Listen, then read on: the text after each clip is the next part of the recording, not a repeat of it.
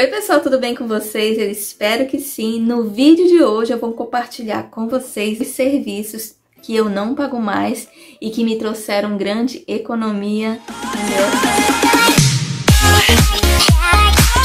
Eu sou Eliette Kel, sejam todos muito bem-vindos e diariamente, gente, diariamente nós somos influenciados a comprar, seja pela televisão, seja pelas redes sociais, Anualmente, a indústria investe bilhões em marketing, em propaganda para fazer você e eu ficar endividada. E quando a gente consegue ter uma percepção disso e ficar endividada não é saudável e nem inteligente, a gente começa a criar, a enxergar estratégias, oportunidades para estar tá aí enxugando o nosso orçamento e fazendo com que a nossa saúde financeira fique mais equilibrada e a gente consiga ter tranquilidade e paz, porque quando a gente está com as finanças equilibradas, é isso que a gente traz para nossa vida. E antes aí de estar tá falando para vocês quais são esses serviços que eu não compro mais, eu queria estar tá compartilhando com vocês aí uma experiência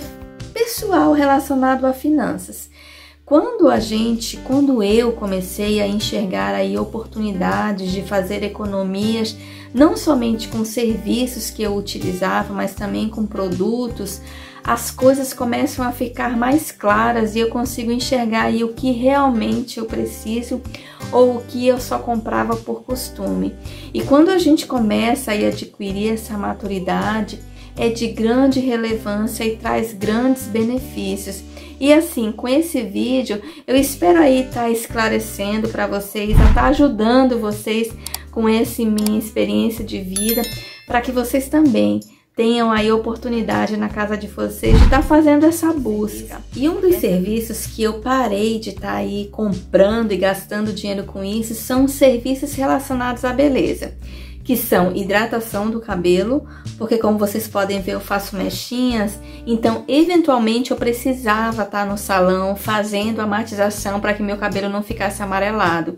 E isso ali representava um valor de no mínimo 300 reais por mês, porque cada matização de 15 em 15 dias eram mais ou menos 150 reais.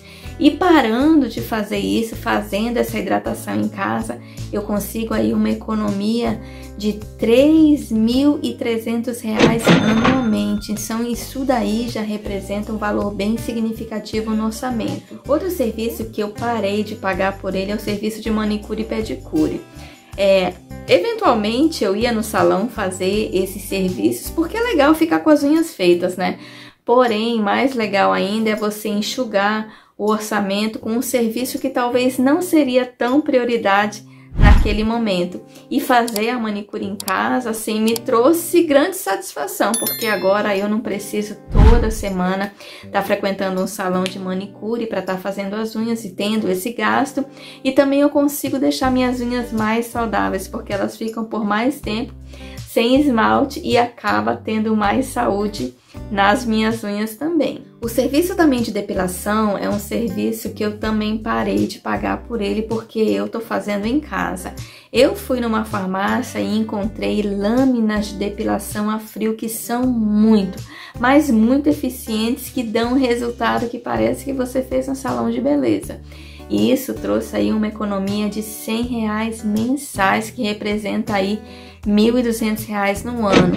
Então, somando esses serviços aí, chega um pouco mais de R$ 4.300 anual de gasto e assim representa um valor bem significativo que eu poderia estar tá deixando de fazer e utilizando esse valor para outras questões e disposto aí dessa listinha de coisas que eu passei para vocês que gerou uma grande economia para mim isso vai ser de grande valia para estar tá enxugando aí o orçamento, para estimular você que está aí do outro lado aí, que pode procurar na sua casa alguma maneira de enxugar o orçamento, de fazer uma economia, mas uma economia com propósito, né? Não é aquela economia vazia simplesmente por economizar, mas aquela economia que tem um propósito, que tem algo assim como alvo de trazer mais tranquilidade, de estar tá ajustando aí a sua vida financeira.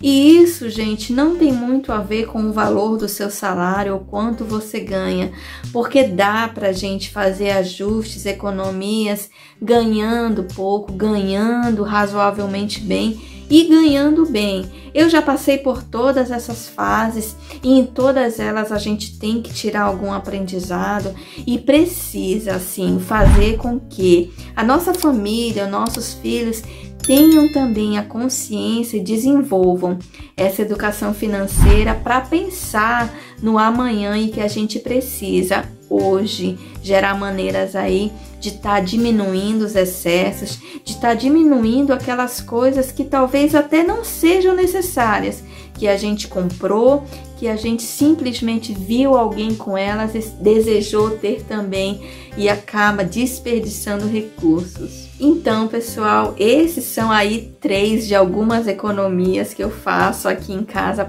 Eu espero muito que vocês tenham gostado e que desperte aí em vocês também o desejo de fazer economias, mas economias com propósito, economias inteligentes que vão ajudar você aí a ter um fundo reserva mais robusto ou até se programar para realizar aquele sonho que há tantos anos está guardado aí na gavetinha, só esperando a oportunidade de vir à tona e de você realizar. Fiquem todos com Deus e até os próximos vídeos. Tchau!